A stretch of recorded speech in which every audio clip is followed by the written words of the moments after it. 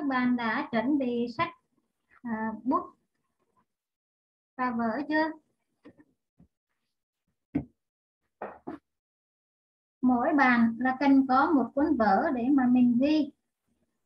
Có những gì quan trọng thì mình ghi lại ha.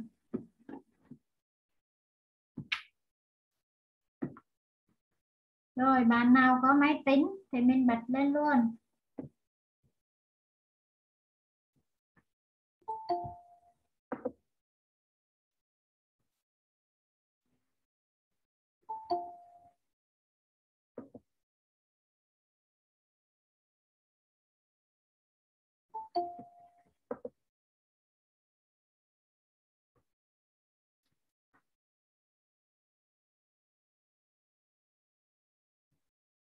Thì à, bữa trước cô có cho cái video và cô uh, yêu cầu bạn nào có máy tính thì mình làm bài tập 2 thì không biết các em đã làm chưa?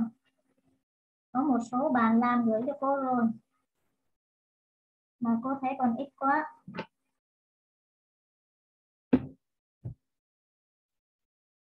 Các bạn à, nhà có máy tính thì mình cố gắng mình vẽ tập vẽ đi ha.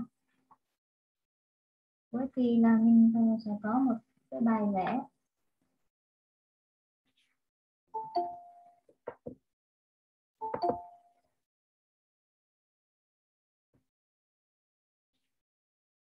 Rồi nhắc nhở các bạn là mình vẽ là vẽ ở trên máy tính chứ không phải là vẽ ở ngoài giấy. Bạn nào mà không có máy thì mình ờ, không cần vẽ uh, vẽ ra trên giấy đâu nha.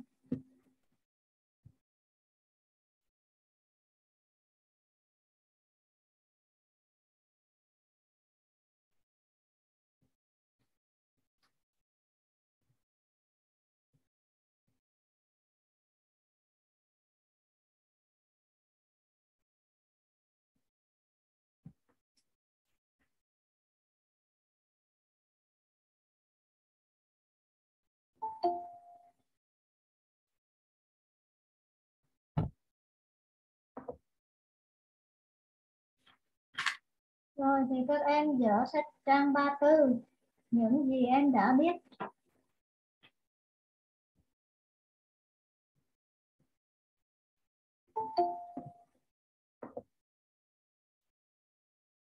Đầu tiên, ta làm bài tập 1.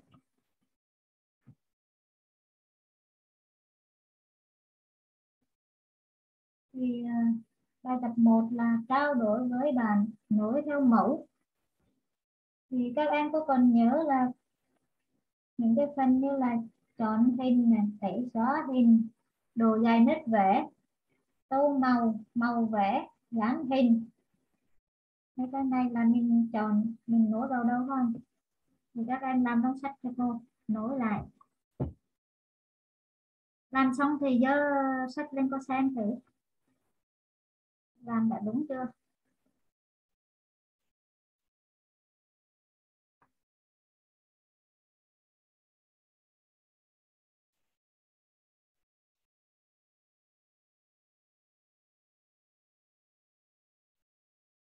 Rồi được rồi.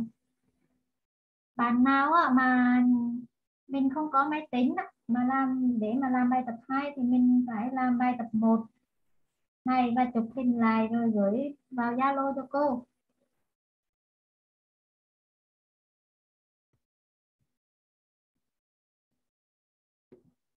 Thế thì chọn hình là nối vào để cô chia sẻ màn hình cho các em xem.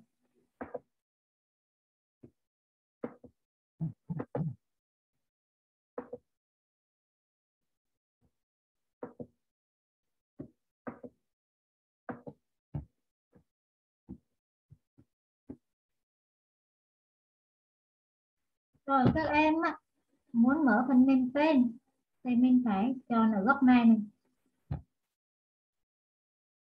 Rồi, tìm ở đây là thấy phần mềm tên bạn nào mà không nhìn thấy phần mềm tên thì các em phải gõ vào tìm kiếm, cái tin lúc đó gõ chữ tơ.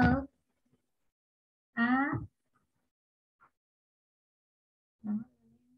mềm tên nháy đúc chuột hoặc là chuột phải chọn open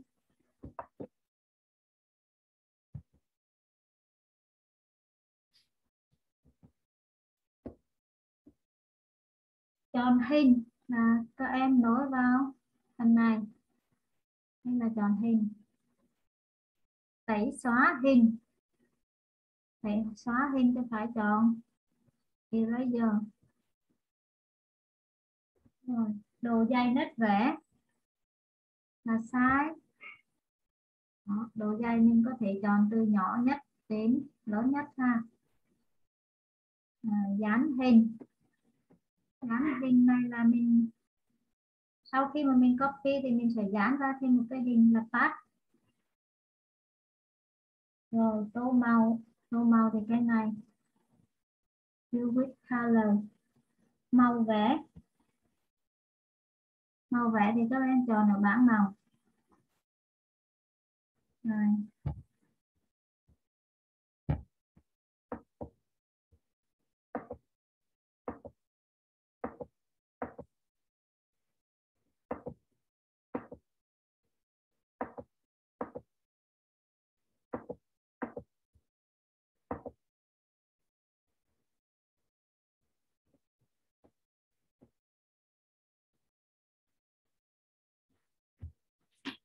Ở bài tập 2 em và bạn thực hiện các yêu cầu sau. A. Mở chương trình tên B. Vẽ hình rồi tô màu cho hình theo mẫu. Lưu bài vẽ có tên lần lượt là bài vẽ 1 và bài vẽ 2 thì ở cái mục B này là có hai yêu cầu. Yêu cầu thứ nhất là mình phải vẽ được hai cái hình này. Và yêu cầu thứ hai là lưu bài vẽ. Thì các em có còn nhớ cách lưu bài vẽ không?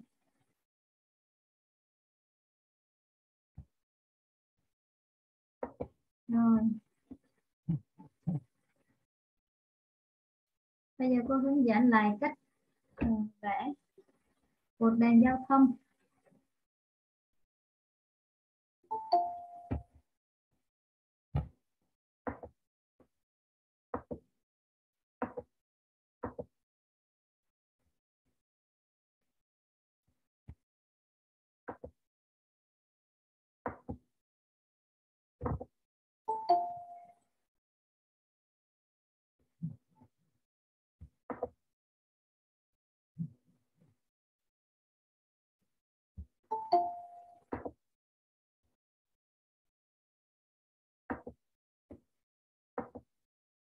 Cô thấy là có một bạn học sinh ừ, trong khi học là mình dùng những cái từ mà không không được không đúng. Nói bậy nói bậy nói tục. Thì các em không được là dùng những cái từ đó. Tiết học trước là có một bạn. Trong khi các bạn đang học mà các bạn lại nói tục thì lần này cô sẽ quay phim lại, ghi âm lại. Lát nữa cô mở ờ, ra cho các em có ý kiến. Và cô sẽ quay phim và ghi âm lại. Bạn nào mà có những cái lời nói nói tục trong lớp, thì cô sẽ báo để mà xử lý, báo cho hiệu trưởng để xử lý.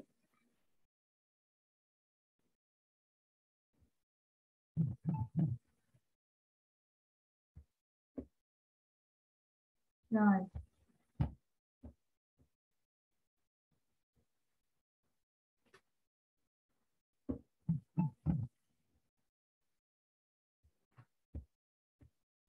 Một đèn giao thông.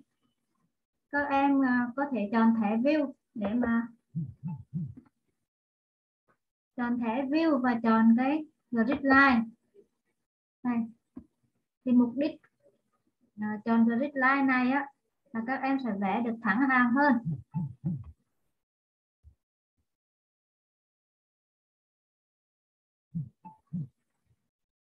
Không biết ờ, trong giờ học mà có bạn nào mà cứ nhắn lên Zalo vậy không biết nữa. Ngồi học có chú ý hay không này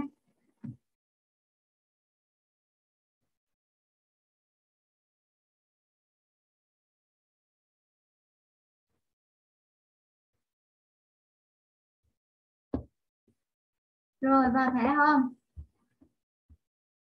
các em chọn cái bảng. Hình chữ nhật này.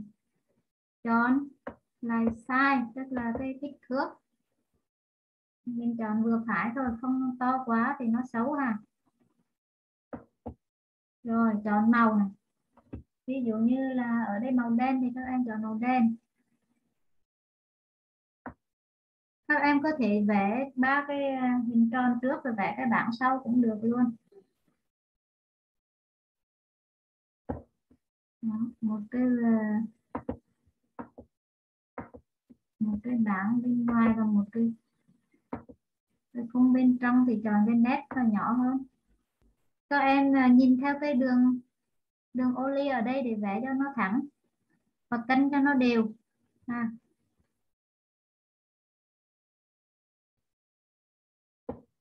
Cân theo cái ô này nè. Hai bên cho nó đều ha. Đều cả trên, cả dưới. Rồi, bây giờ chọn hình tròn. Muốn cái hình tròn này nó tròn thì các em phải giữ phím shift. Màu đen để như vậy, giữ phím shift.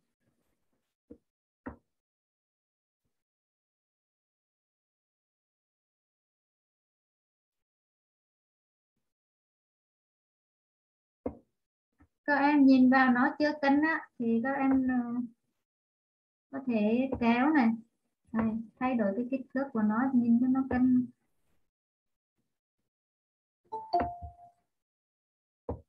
rồi copy ra.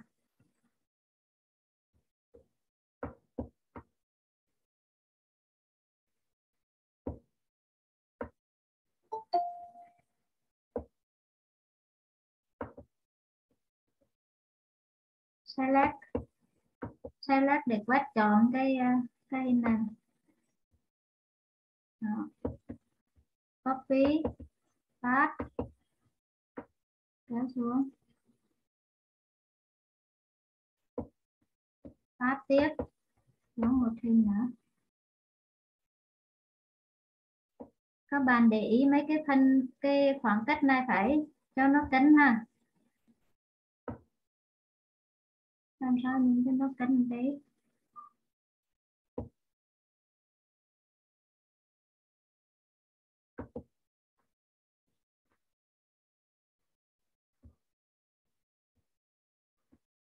nhìn mà chưa cân lắm thì mình phải select lại. Rồi bôi. Và di chuyển cái hình. Làm sao cho nó cân? Cho đẹp. Rồi thêm một cái. Của cái cuốn hình chữ nhật.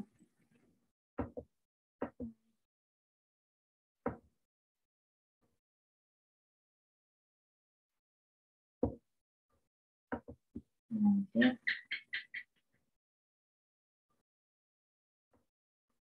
trong có một cái ô nữa.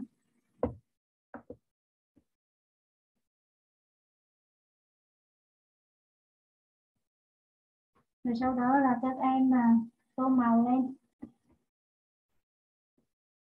Các em có thể bỏ vào cái view này, bỏ cái grid line đi. Đó, và phải home lại. Rồi tô màu.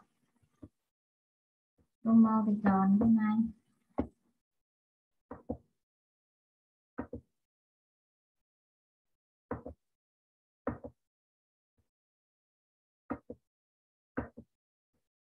bảng là màu xám.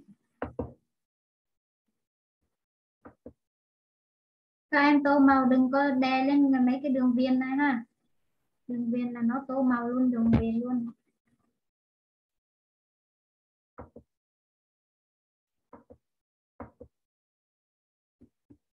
Rồi.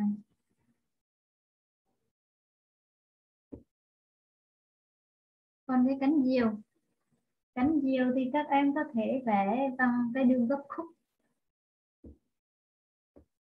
Thì các em cũng vào để view, chọn grid line lại. Ừ, chọn đường gấp khúc này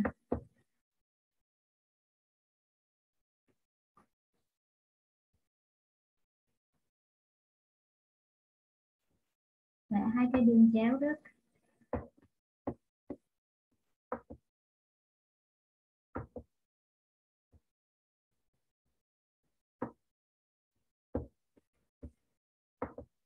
trước màu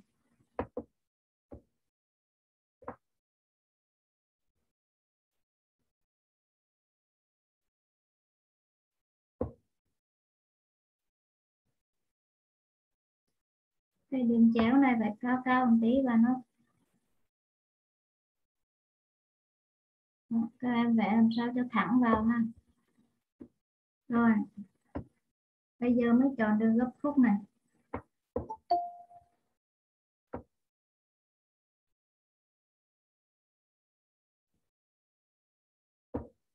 Đến cái cái điểm này là các em thả chuột ra rồi các em lại nháy chuột vào. Và vẽ tiếp. Đó. Thả chuột ra. Rồi. Nháy chuột. Vẽ làm sao cho các cái chỗ này phải kín lại ha? Đừng có hở.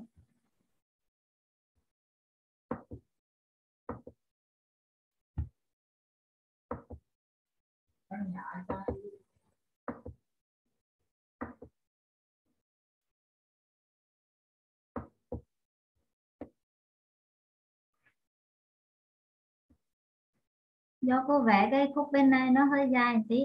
Các em vẽ là phải đếm cái ô này cho nó cân để mà nó mới đều được. Rồi này. bây giờ vẽ đường cong này. Chọn đường cong. Chọn cái dây nhỏ nhỏ thôi.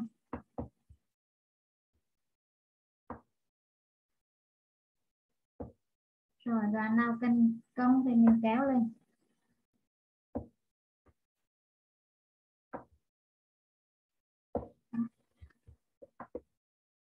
Rồi tiếp tục. Các em ờ, chọn cái đường gấp khúc. Gấp khúc này cho dễ. Rồi. Rồi qua đến đây là thả chuột này đồ vẽ này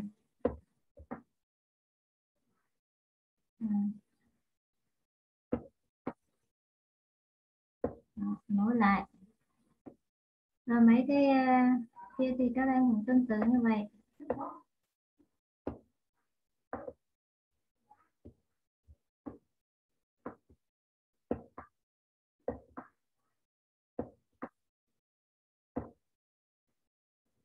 Rồi các em chọn lại cái đường gấp khúc đây để cho nó khỏi bị hư.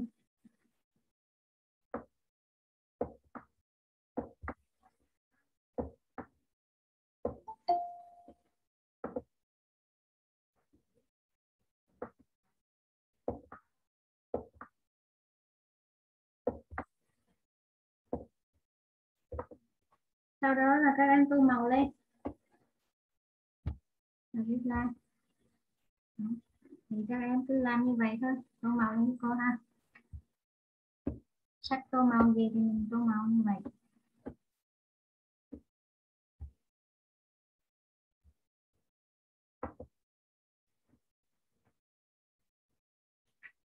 Rồi. Các bạn vẽ được đèn giao thông và con diều rồi.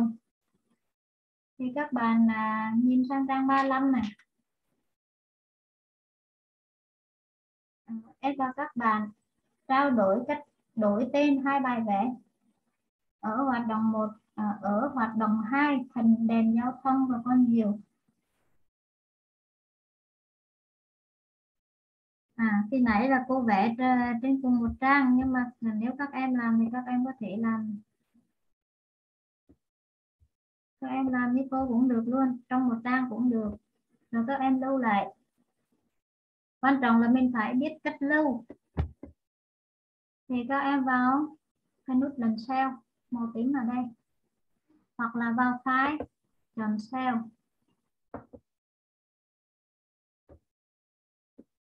Rồi bây giờ về cái thư mục đang mở là thư mục hình ảnh nè.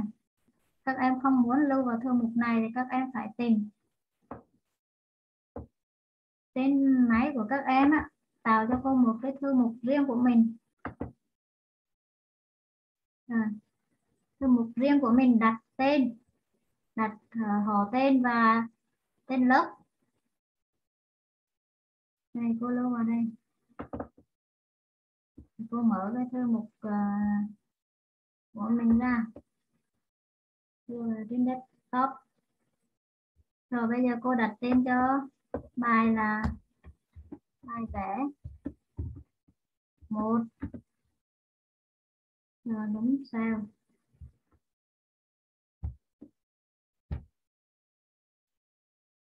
Rồi khi các em lưu rồi á, thì các em có còn nhớ cái cách mà mình mở bài đã lưu ra không? Khi nào mà các em muốn tìm lại cái bài vẽ đó thì các em có tìm được không? Thì cô đã lưu vào thư mục đây rồi. Cần gì đó trong này? Các em tên gì thì các em đặt tên như vậy?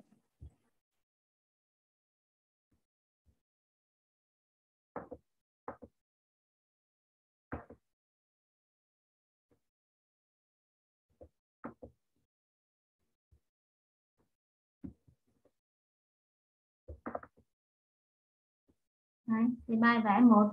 Khi nãy cô lưu vào đây thì giờ nó nằm ở đây thôi.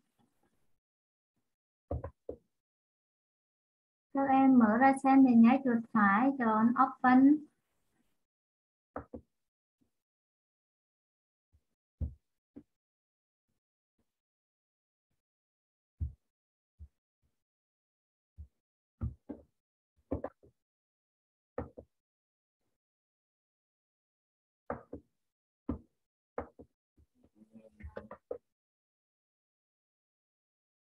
open with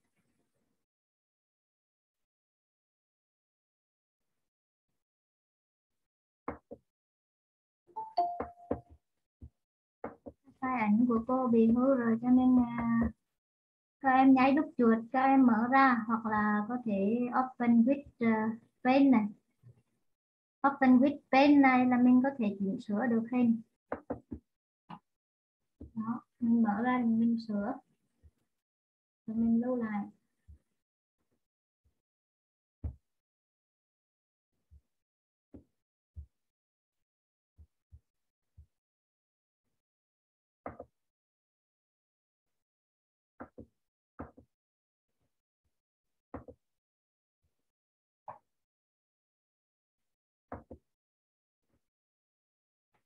Rồi.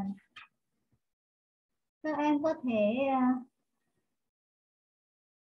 ở cái bài con diều đó, các em có thể vẽ trên mặt trời rồi nắng mây rồi tô màu vào được chưa?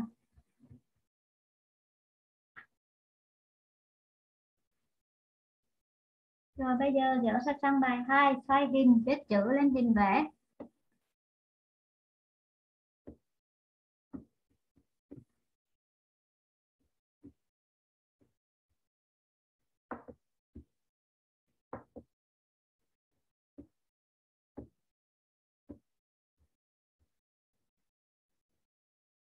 Thì cái bài xoay hình này á để mà khi mà các em vẽ một cái hình nào đó mà các em à, à, muốn à, có thể là copy ra thêm một bản nữa à, xoay hình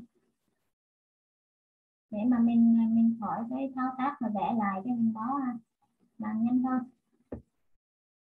Giả sử như là cái hình hình cái đồng hồ trang 38 các em chú ý cái bài này nè. Để, mà sau tiết học này thì các em à, vẽ cái đồng hồ đây cho cô. Để các em à, nháy chuột vào hình tròn. Chọn size nó lớn lớn một tí à. Đây này size ba đi. Rồi chọn màu. Màu xanh. Rồi nhánh giữ phím shift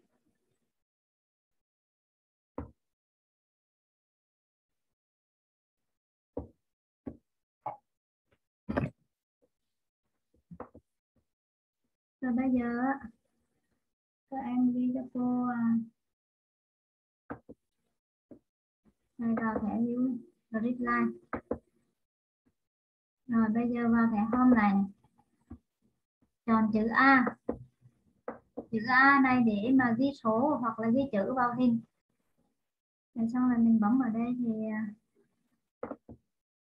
để ghi số vào đây 12 bây giờ các em mà phải chọn lại màu màu đen cho cho cái số này.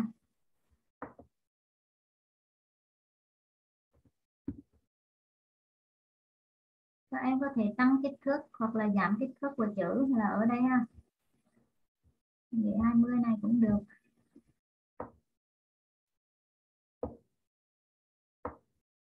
Các em có thể di chuyển này.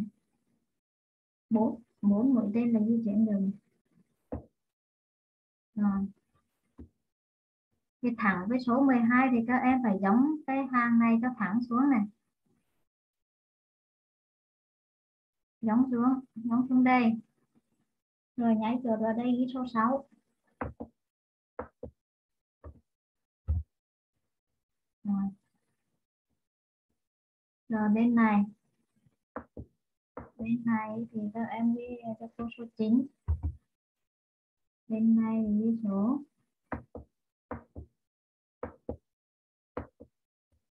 Rồi số 9 xong bấm ra ngoài trước nè. Rồi bấm giống thẳng hàng với số 9 qua đây ha.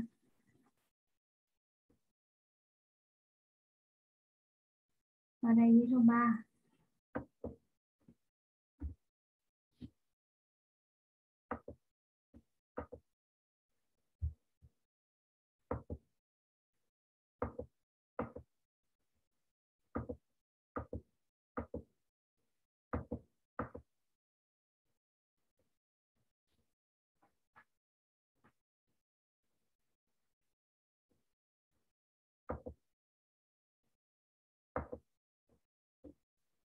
rồi.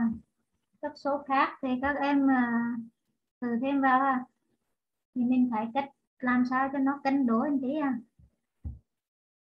đây ví dụ như cách à, số này đây là số 1 và đây đây là số 2 các em ghi làm sao mình cho nó cân cân. Đó di chuyển trượt ra.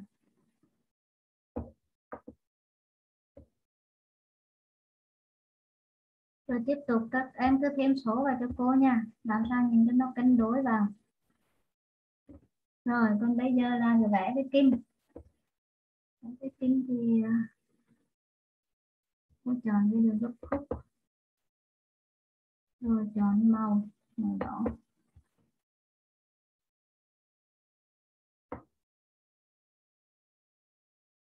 Kim dài thì chỉ phút, kim ngắn chỉ giờ thả chuột này.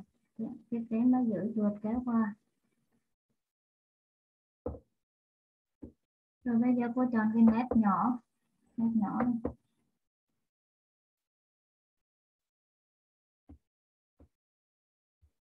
rồi lại đường gấp khúc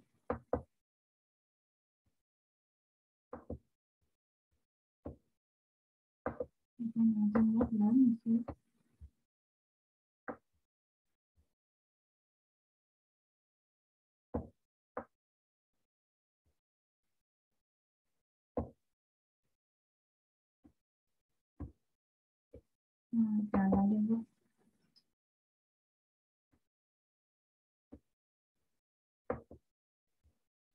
Tôi chọn cái đường thẳng vẽ cho dễ. Đường thẳng thì dễ hơn. Cái cắt nó hay bị lỗi rồi.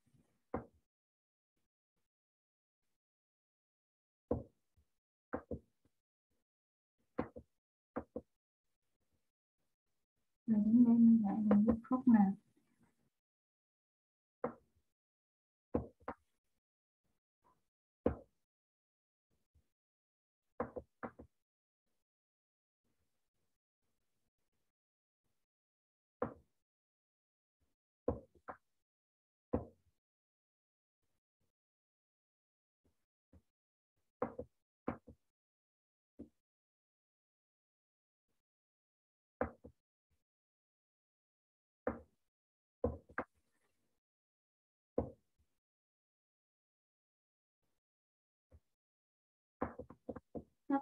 không có thể lái đốt ruột.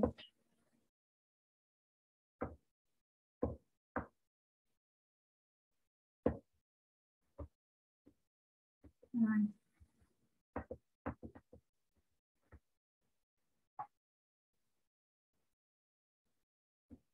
Rồi, bây giờ qua cái đồng hồ khác thì các em không cần vẽ lại. Đồng hồ ở B. Thì các em chỉ cần à, select này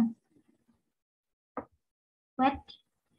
Các em phải quét làm sao cho bao hết cái ờ, đồng hồ này? Copy.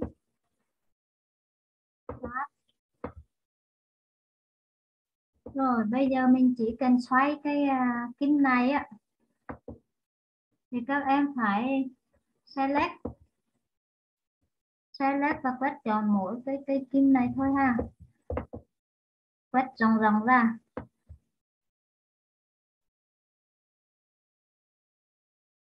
Các em đừng có dính con một này vào. Rồi. Bây giờ chọn rotate. Rotate right 90 độ là mình xoay phải. Xoay trái 90 độ. Xoay 180 độ. Xoay theo chiều dọc. Dưới này là xoay theo chiều ngang thì ở đây theo các bạn là xoay theo chiều dọc hay là xoay theo chiều ngang? Cái này hay là cái này?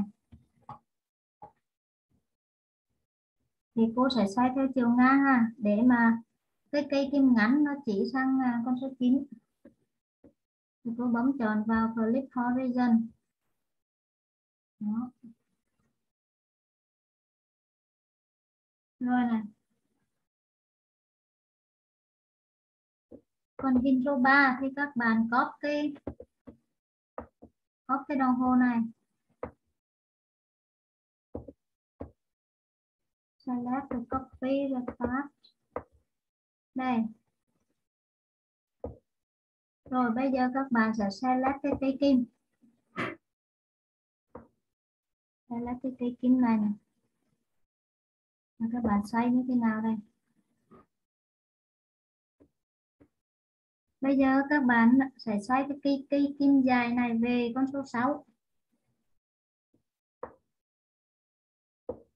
xoay về con số 6 thì các bạn phải rotate gì nè?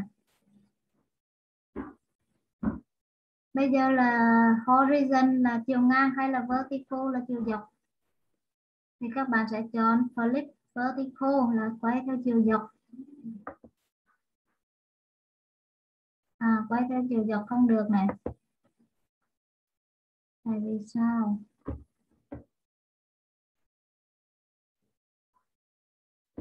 Bây giờ các bạn thử select lại lần nữa coi nào.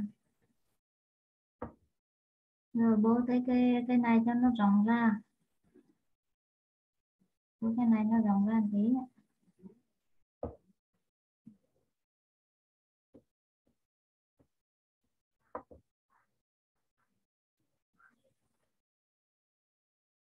xoay theo chiều ngang thì cái cây kim ngắn nó sẽ sẽ thay đổi. Còn xoay theo chiều dọc thì cái kim dài nó sẽ thay đổi. Đó. Thì do cái nãy là các bạn select là các bạn phải quét cho nó rộng ra. Điều chỉnh. Các em có thể điều chỉnh cái cây kim nó nằm cho chính xác cái con số. À. thì chú ý mà khi các em quét á, select để mà quét á, quét làm sao cho cái không gian nó xoay. ví dụ như quay theo chiều ngang thì bên này. Cái bên này phải đủ cái không gian để cho cây kim ngắn này này, này nó quay sang bên này. Còn muốn mà cây kim dọc à, cây kim dài này nó xoay xuống thì mình phải quét quét cho nó dài xuống dưới này. Rồi mình mới à, rotate nè. Vertical và chiều dọc thì nó sẽ xoay xuống. Được chưa này vertical là xoay xuống xoay lên theo chiều dọc còn uh, horizon clip horizon là quay theo chiều ngang mình sẽ quay cái cây kim ngắn này. Đó, các bạn là quay được như vậy thì sẽ nhanh hơn là các em ngồi vẽ. Rồi hiểu chưa? Làm có được không? Rồi đây là bài tập về nhà ha. Các bạn vẽ cho cô à, một cái đồng hồ này thôi. Nhưng mà làm sao để quay? Quay được cái cây kim này. Quay như thế này một hình là quay uh, như thế này một hình là quay như thế này. Rồi vẽ cho cô đầy đủ các số vào ha. Làm sao cho nó cân nhìn cho đẹp. Rồi vào thẻ view này bỏ cái này ra này thì viết like ra. Đó. Rồi như vậy là xong. Rồi các em nghĩ đi bạn nào mà chưa lưu bài thì các bạn phải lưu lại bài. Theo bài vẽ hai. Bài vẽ đồng hồ. Theo nè? Đây là các em đang còn lưu vào thư mục này nè. Đó, khi mà mình lưu phải chú ý cái tên ở trên này.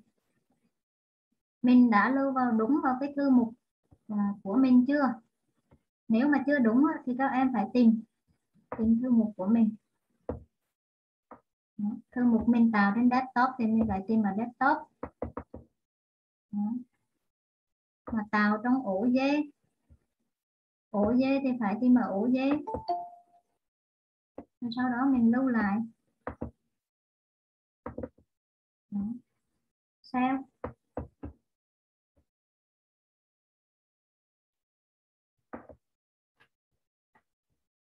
Rồi như vậy là xong ha. Bạn nào mà còn chưa hiểu lắm thì ờ, tí nữa cô sẽ gửi lại cái video này để các em xem lại. Rồi thì các em ờ, làm bài tập đó cho cô. Vẽ đồng hồ và sau đó là xoay các cây kim tạo thành ba cái ba chiếc đồng hồ. Trang 38. Phần B hoạt động thực hành đó, bài 1. Rồi các em nghĩ đây.